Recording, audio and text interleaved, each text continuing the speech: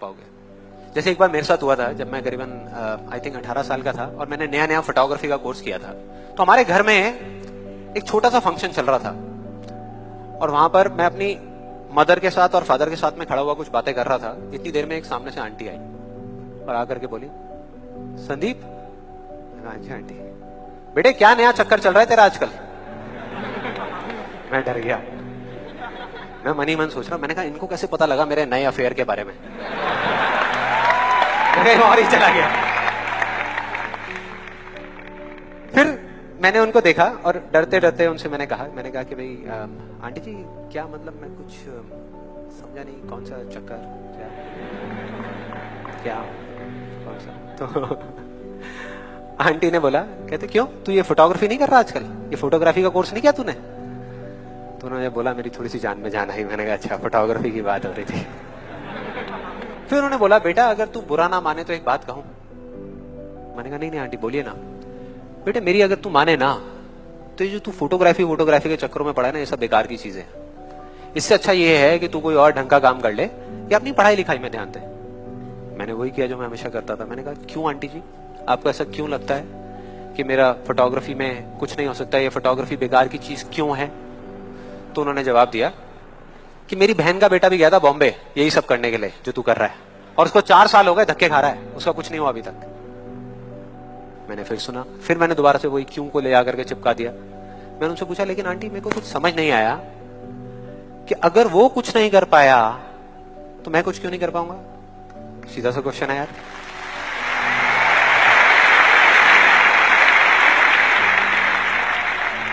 थोड़ी सी इरिटेट हो गई, लेकिन उसके बाद जो उन्होंने बोला, उस दिन मेरा कम से कम दस किलो खून बढ़ गया होगा हँसते हँसते। उन्होंने गुस्से से मेरे से पूछा, कहते तेरे कितने परसेंट आए थे ट्वेल्थ में?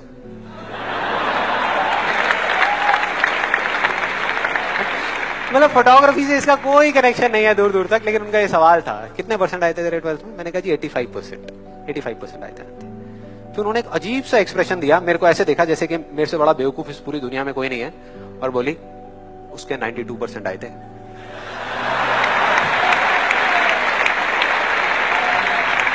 नाइन्टी टू परसेंट अब बोल।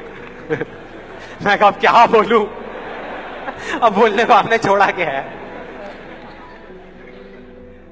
क्या कोई है जो ऐसी बातों को सीरियसली ले सकता है? नो यस नो नो ले ही नहीं सकते। अब बचे दस परसेंट लोग। जिनके पास में जवाब होता है। एक जेन्युइन वजह होती है। मतलब वो आपको सिर्फ़ ये नहीं बोलते कि आप नहीं कर सकते। वो आपको बताते हैं कि वो ऐसा क्यों बोल रहे हैं। तो मुझे जब भी कोई ऐसा मिलता है तो मैं उनके पास में जाकर के शांति से बैठता हूँ। उनकी सारी बात को समझता हूँ। फिर अकेले में जाकर के उस प्रॉब्लम का सोल्यूशन निकालता हूँ। और अपने पूरे दिल से उस इंसान को थैंक्स करता हूँ। क्योंकि इनडायरेक्टली ऐसे लोग हमको हेल्प करते हैं आगे बढ़ने लेकिन इसका मतलब ये नहीं है कि उन 10 परसेंट लोगों की बातों को मैं ज़्यादा सीरियसली लेता हूँ। या अगर मेरे को उसका जवाब नहीं मिलता तो मैं रुक जाता हूँ। क्योंकि जवाब नहीं है, इसका मतलब ये नहीं कि हम चलना बंद करते हैं। फॉर एग्ज़ाम्पल अगर हम अपने घर से ये सोच करके निकले हैं कि जब सारी लाइट्स ग्रीन हो जाएँगी, तब मैं अपने घर से निकलूँगा। तो निकल पाएँगे कभी?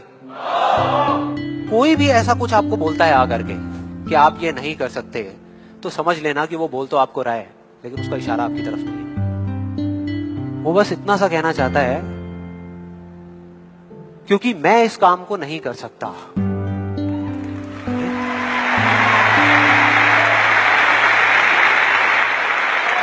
बस इतना सा कहना चाहता है, क्योंकि मैं इस काम को नहीं कर सकता या मुझे नहीं पता कि इस काम को कैसे करना है, इसलिए मुझे लगता है कि इस पूरी दुनिया में कोई भी नहीं कर सकता।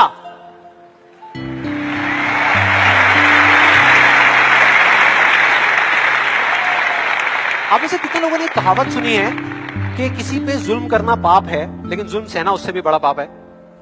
कितने लोगों ने सुनी है?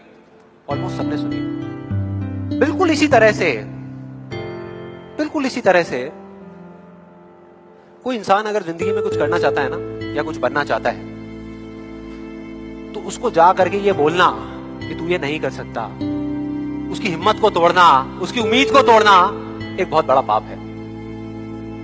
क्योंकि कई बार कुछ लोगों के पास में सिर्फ़ एक उम्मीद होती है और कुछ भी नहीं। लेकिन वहीं दूसरी तरफ़ किसी को इतना हक देना कि वो आ करके आपके सामने खड़ा हो जाए और आपको कुछ भी बोलता रहे आपकी उम्मीद को तोड़ दे, आपकी हिम्मत को तोड़ दे और आप चुपचाप खड़े खड़े उसको देखते रहो।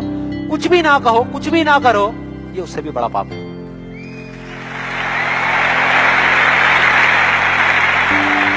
मतलब सिंपल है, ना हमें चुप रहना है, ना किसी से लड़ना है, सिर्फ़ सवाल करना है, क्यों?